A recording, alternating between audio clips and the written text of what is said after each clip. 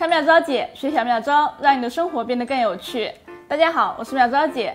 前几期妙招姐给大家分享了用洗衣液瓶子做肥皂盒的小妙招，大家看了都说非常的好。那么今天妙招姐再来给大家分享一个更实用的洗衣液瓶子变废为宝的小妙招，下面大家一起来看看吧。首先，我们在洗衣液瓶子的这一面画一个直径八厘米的圆圈，注意圆圈的最边缘要距离瓶底一厘米左右。我们再将这个圆圈割掉。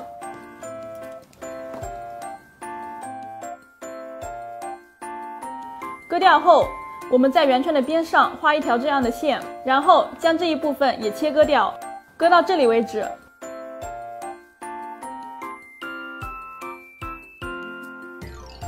割掉后就是这个样子。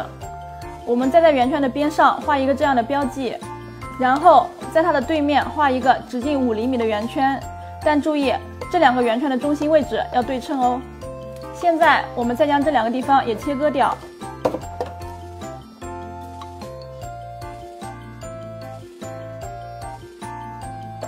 好了，全部切割好后就是这个样子。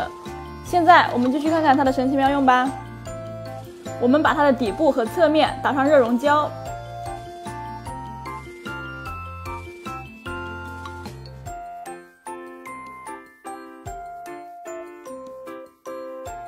粘在你喜欢的位置。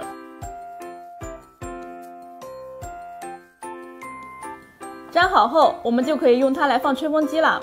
吹风机的插头可以卡在这里，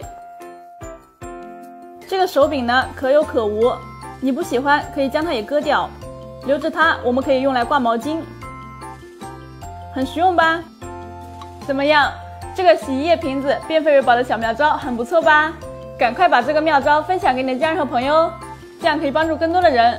如果你想看更多实用有趣的小妙招，就请关注妙招姐吧。还有记得在下方点赞留言哦。我们下期再见，拜拜。